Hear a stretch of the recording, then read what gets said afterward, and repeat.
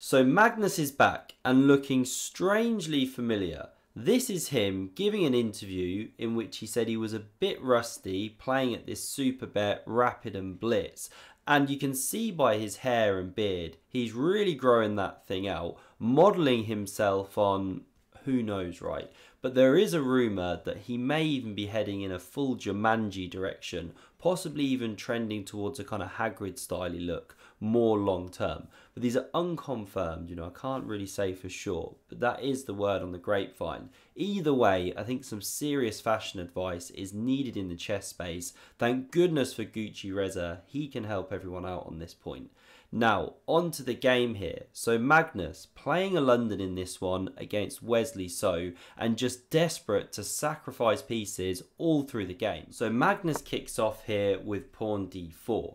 Wesley goes d5, we get knight f3, knight f6 and bishop f4. Starts the London, maybe Magnus inspired by the now world champion Ding Liren who played this with success against Nepo. No, but Magnus has been playing this a lot himself for years now. So c5 from Wesley, very standard, e3, knight c6, and now Magnus plays a small sideline with bishop to e2. Normally that bishop sits on d3, and normally it doesn't develop just yet. You know, you see c3 or knight b to d2 first, and now Wesley, he starts chasing this bishop. Now the most natural uh, move, move, move looks bishop g5, but then you're running into this, and you can actually chase this bishop. You know the tactics aren't quite working for white, and it's a bit better for black.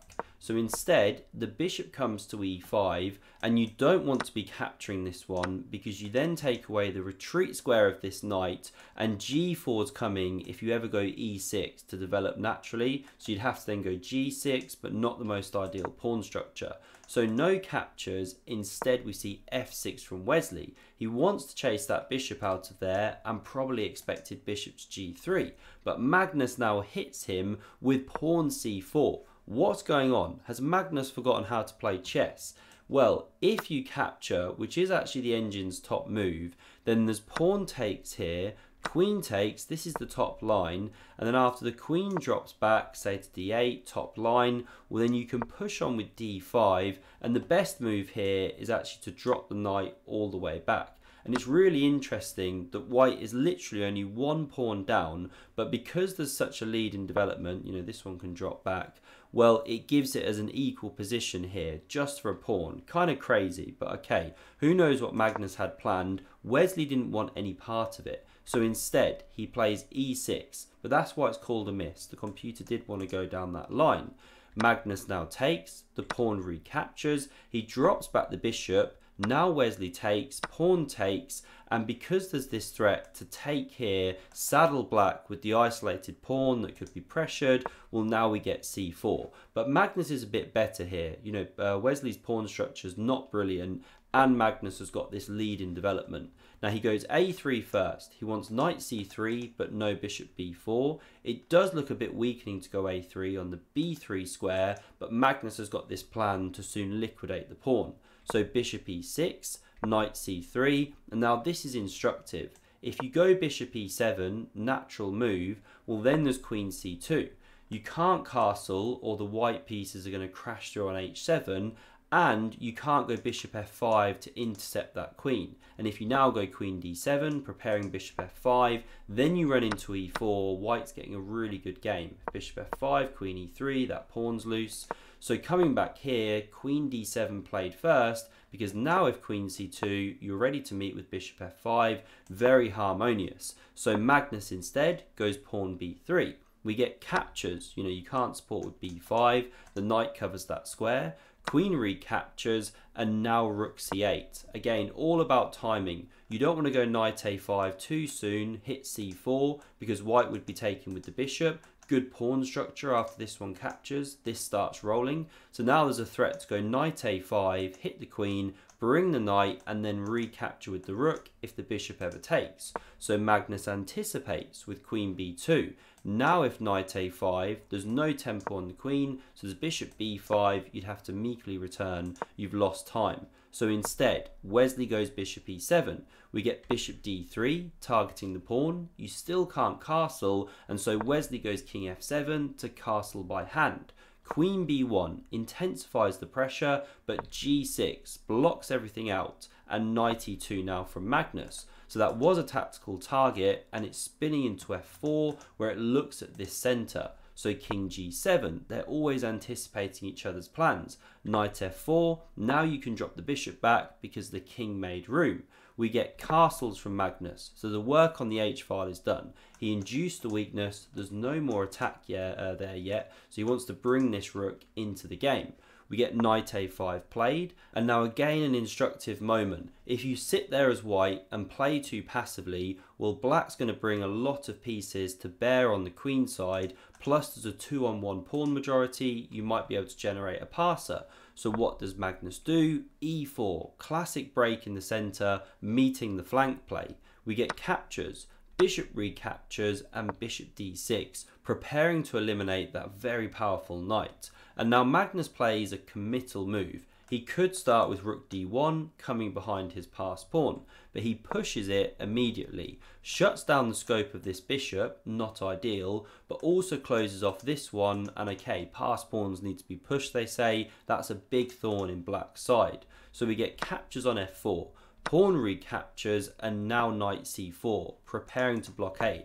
By the way, if you take, it is actually playable, but after rook d1, rook c5, f5, it all looks so scary. You are just about holding on to the piece, but there's big problems around the king now, and the computer says that the best line is rook e8, captures, pawn recaptures, and you can actually win the pawn back, and white's got a decent position.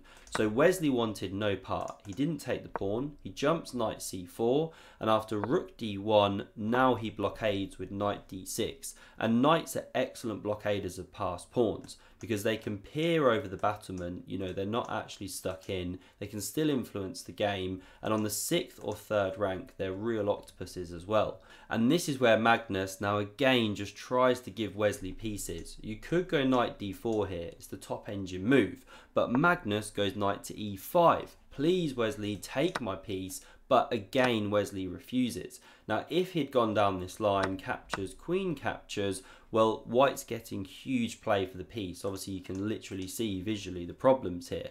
Now, the top move is actually rook here, giving the piece back immediately. But if you try and save that piece with, say, bishop e8, well, then there's just this big attack that starts rumbling against the black king. And okay, white can try and make inroads soon and then get the pawns going if you can ever remove the blockader. Lots of pressure, not pleasant, lower on the clock. So queen e7 played instead. Magnus takes here, the king recaptures, and he drops this bishop back to f3. We see the rook hit the open file, and now queen b4 sets up this nice geometry. There's a threat now to go rook e1, just generate some uncomfortable pressure. You know, the queen has to stay with the knight and everything. So rook c4 played, kicking away the powerful white queen. It also hits the f4 pawn, so queen d2 very natural. And now queen c7, pawn a4 and queen c5 activates that queen nicely into the game. Wesley playing on the dark squares around this bishop.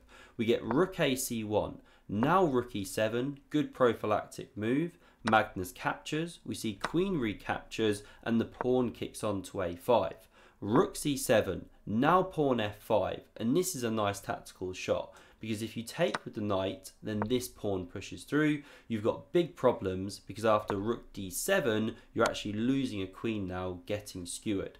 So you can't capture that pawn with the knight, just running back here. And if you take with the pawn, well then the queen invades straight 6 You're hitting two pawns here, it's just horrendous. And this is why now king g7 to stop the queen invading to that square. So Magnus captures, the pawn recaptures, he goes queen e3, looking to invade, also looking at the a pawn. So queen c5 covers, queen e6 invades, and rook f7. Now it's a really hard defense for Wesley, low on the clock. And after g3, Magnus has some nasty ideas. King g2, rook h1, slide the queen back and get some really nasty stuff going down here. But Wesley, to his credit, finds a great defence here because he wants to go queen c8, swap the queens, but then you drop the knight. So he starts with queen c7, we get king g2, and then he does the rook e7 move. kicks the queen. Now you often have to be careful, don't improve your opponent's pieces. Haven't you just helped white? Well, Wesley's just in time with queen c8 to challenge that one before the rook comes. And it's hard to actually avoid the queen trade. You know, you could go g4, it's the top engine move, but it's a risky move because after knight f7, you know, the knight could be spinning here, the h file is covered. If the queens ever come off the board, well, this could be quite a nasty pawn structure. So instead, we see the queens come off, the knight recaptures, and Magnus goes d6. And we're basically liquidating b for d pawn here because now the bishop captures here. Again, you can't take because of tactical problems. White's completely winning. So we have knight takes here, and now the bishop is supported. You can't take with the knight or the rook drops, and equally if you take with the rook, well obviously you're dropping in exchange, completely lost. So instead, king f8. Now these moves here, I won't play super fast because the players now head this towards the expected result of a draw. But it was a very fighting game. You know, we get round to this position here. The rook comes behind the a-pawn. It's covered. We get bishop d3. And now this is nice from Wesley. He jumps with knight e4 pressures that f pawn, so we get captures, pawn takes, and now this one's about to drop. So yes, you can take here, but okay, black takes here. In the game, we see this one to cut the black king, and now we get this sequence of moves. So I'll whiz it through. This is the final position, and we see a threefold repetition. Yes, you've got the outside pass pawn as black, okay, Magnus is easily good enough to draw that. So a peaceful result, but a fighting game, I thought. I hope you enjoyed this one. Do subscribe to never miss a future video and see another amazing game. Check out the video on screen. Thanks very much for watching and see you soon.